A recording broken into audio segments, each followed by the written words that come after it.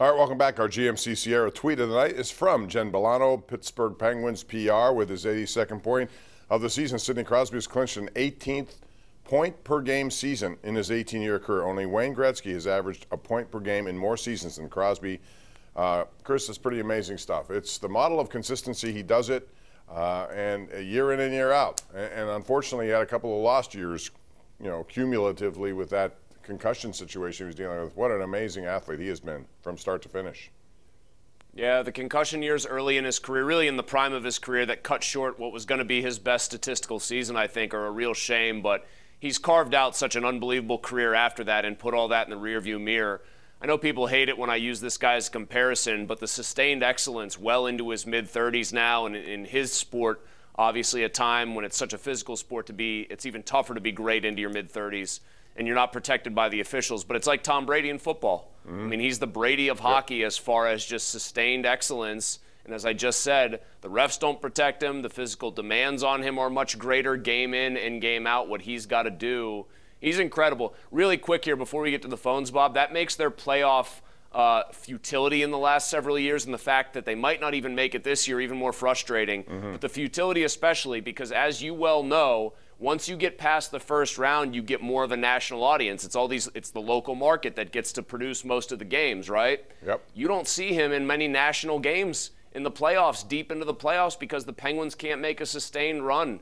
I actually think that that almost that Crosby is still almost undersold for his greatness in some places. I was hoping several years ago we'd see uh, Crosby uh, McDavid matchup somehow, some way. And you know, Edmonton has struggled to get there, although they got to the conference finals last year. Hopefully, one day we will. Although I hope it's not so late in Sidney's career because McDavid's still flying out there. Let's get to the lines, Chris. We have a lot of people on them. Uh, will in McKees Rocks. You're first. Go ahead, Will.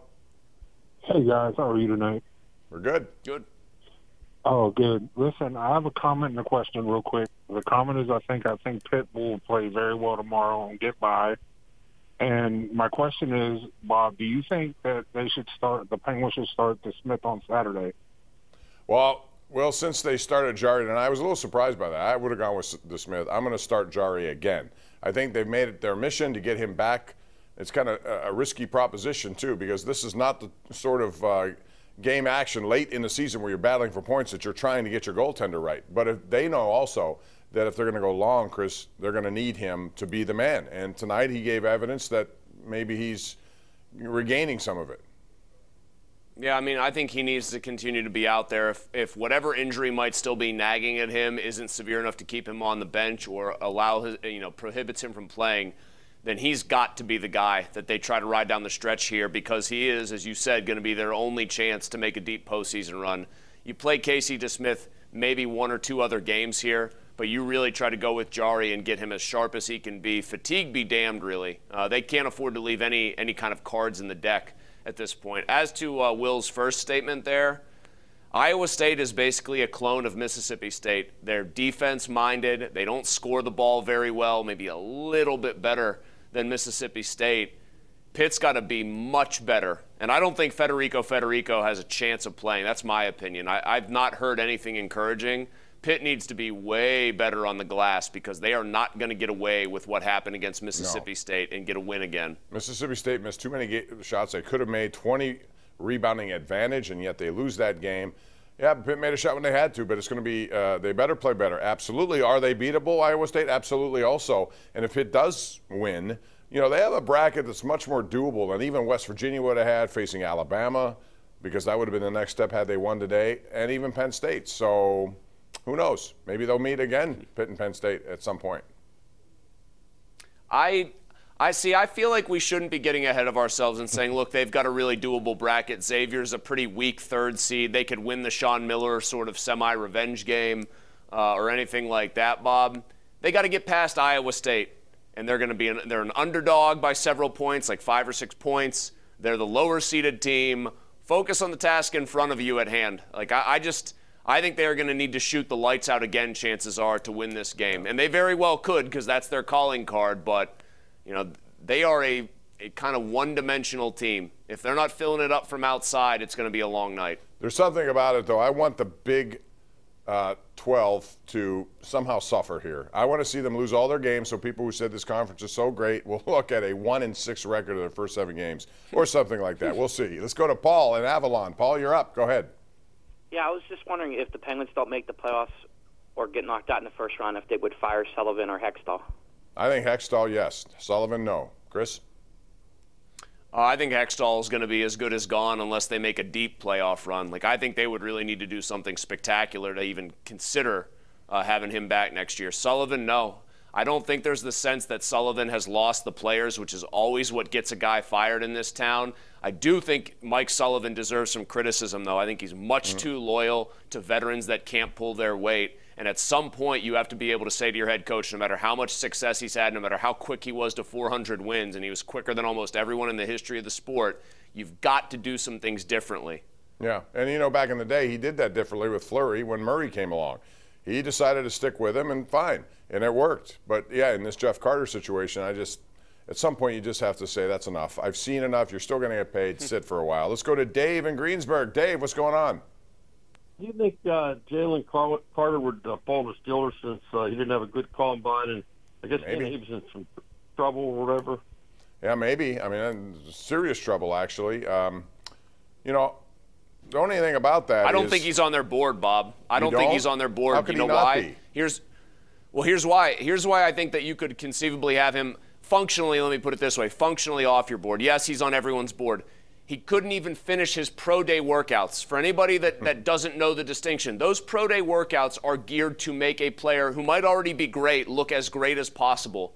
Like that is when the environment is under your control. You're throwing to your guys on your terms. It's not the combine, it's not the NFL dictating it. Jalen Carter was so out of shape he couldn't even finish the lineman drills. He looked horrible. And I think that would take him off of Mike Tomlin's board and possibly Andy Weidl's. Mike Tomlin's personal board, though, we know, Bob, how much he loves these pro days. He lives for this stuff, right? Yeah. He loves going to the big powerhouse schools. He loves talking to people. He loves ball. That's a job interview for Jalen Carter. You show up to if I showed up to a job interview with you 15 years ago in a well, okay, I can't say in a t-shirt and a blazer because that's my new uniform here. That's what I wear. But in a rumpled shirt with taco sauce stains on it and my tie was undone, I said, "Hey, I love to work here." You'd say, "Get out of here. What are you doing?" That's what Jalen Carter did. If he's going to act like that at his job interview, how could you possibly trust him with being your team's first round pick right now? Still a big talent. I wonder how far he'll fall then if that's the case. And if he's available even at 32, would you consider it? It's interesting to see. Let's go to Mac in Butler County. Hey, Mac. Hey, guys. Good evening. Hey, just a question here on this Hextall Sullivan thing. If I understand this, the Penguins have lost seven games when leading by two goals in the third period. I'm not I'm not favoring Hextall, but I'm just saying that's Sullivan. There's nobody else to blame by that. They haven't made the adjustments to hold those games. If they win half of them, win three, they get six more points. Yeah. They're in the playoffs. Well, I think a lot of it also, uh, you can blame the coach, but if you watch some of these games, I've watched enough of them to know that their defensive coverage in front of their goaltending at times is terrible, and then the goaltending's terrible. You know, you could still be in a position of play, outplaying teams, but just little breakdowns here you know, I, I, always find that a difficult assessment to make, Chris. The coach versus the execution of the players who know better. This is the oldest team in the NHL. Hmm. You know, I don't think he's telling well, them mean, not to do what they've been doing in these third periods like I think that's a compelling argument to make and say maybe Hextall's not been as bad, but here's the flip side. You could say Mike Sullivan's been coaching his tail off in the first two periods of these games to get his team a lead with maybe an undermanned, under-talented roster that was poorly constructed, and then the house of cards tends to fall apart when the pressure rises. Like I, I think ultimately the burden here is on Hextall. He had to know what this team's blind spots and weak spots were in the offseason. There were moves that could have been made or moves that could have been not made that would have put them in better position. And he has pressed so far all the wrong buttons and levers. It's like if the board in front of him was a whole thing of red buttons that said, do not press this, he just kept punching them like it was a whack a mole game at a, at a local county fair. it's an interesting way to look at it, and I would agree. Absolutely. We got to take a break. We have more calls on the way. Frank and Moon, you'll be up first when we come back, but just a little shout out. Uh, Lending Hearts is a great organization that helps cancer families, people who have these issues. And tonight, I've emceed this every year. Cam Heyward was our man of the year for obvious reasons. He's a Hall of Fame person. We know that. Hopefully, a Hall of Fame player. I think he's tracking there. But he and I would both agree that Leo Zambori was the big star of this one. He was diagnosed with cancer at age five. Uh, now he's 12, he's cancer free, and what a great young man. And when you see stories like that, it makes you realize how important it is to have organizations like Lending Hearts on your side. We'll take a break and come back with more right after this.